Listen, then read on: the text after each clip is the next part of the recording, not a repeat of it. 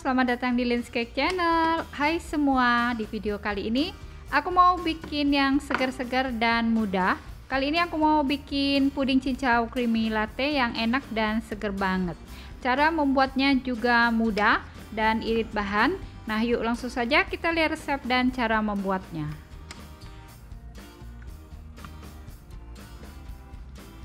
Pertama kita siapkan 175 gram gula pasir masukkan ke dalam panci. Kemudian tambahkan 2 saset Nutrijel cincau. Aku pakai yang ukuran 15 gram dan yang 10 gram. Kita campur dengan gula pasir. Kemudian kita aduk rata dulu agar jelinya tidak menggumpal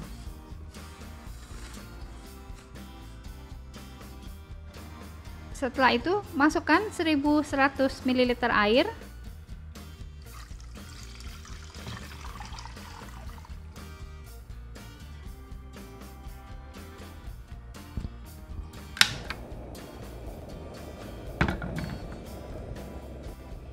Sekarang kita masak jeli cincau sampai mendidih dan matang. Nah, ini jeli cincaunya sudah mendidih. Sekarang kita angkat ya. Siapkan loyang datar, kita tuang jelly cincau. Kemudian ini didiamkan ya sampai jelinya set dan suhu ruang. Baru nanti kita masukkan ke dalam kulkas. Nah, kita keluarkan jelly dari kulkas. Selanjutnya, potong jelly bentuk dadu atau kotak-kotak kecil.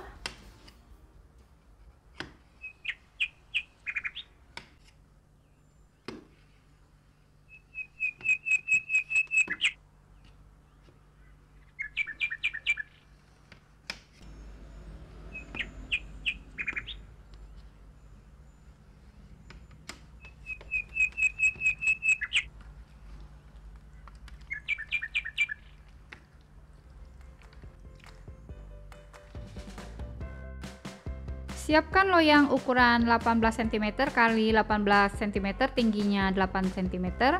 Basahi sekeliling loyang dengan air matang kemudian tuang potongan jeli cincau ke dalam loyang. Setelah itu kita sisihkan dulu. Sekarang siapkan 1 sendok makan tepung maizena. Kita masukkan ke dalam mangkok kecil Kemudian tambahkan 2 sendok makan air yang diambil dari 500 ml air untuk memasak puding creamy latte. Kemudian diaduk sampai tercampur rata. Selanjutnya ini kita sisihkan dulu. Siapkan 125 gram gula pasir. Masukkan ke dalam panci. Kemudian tambahkan 50 gram creamer bubuk Lalu masukkan 3 saset creamy latte, boleh ganti dengan vanilla latte atau cappuccino.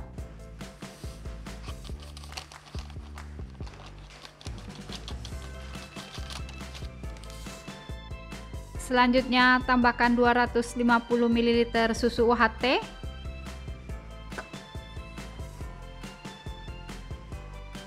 Kemudian masukkan 500 ml air Masukkan larutan tepung maizena. Tambahkan satu saset agar-agar bubuk yang plain.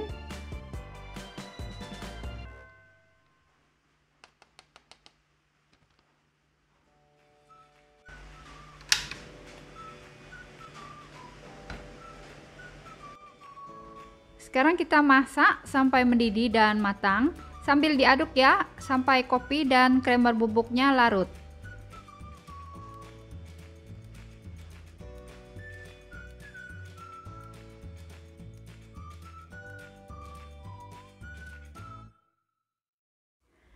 Nah, jika sudah mendidih jangan langsung diangkat ya.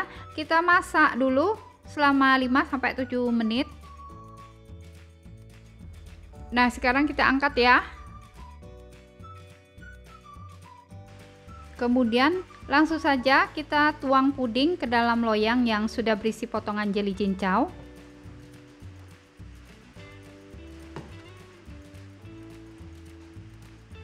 Kita aduk agar jelinya menyebar Setelah itu kita diamkan sampai set dan suhu ruang baru disimpan di kulkas. Nah, sekarang kita keluarkan puding dari kulkas. Sisir dulu pinggiran puding agar puding mudah dikeluarkan.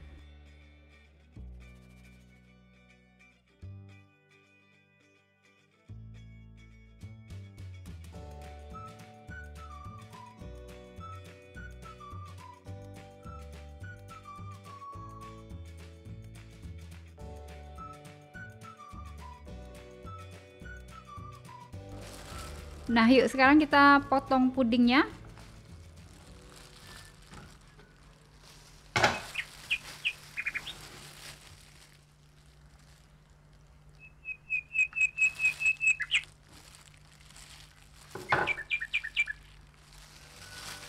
Nah, seperti ini ya hasilnya, tampak bagian dalam puding.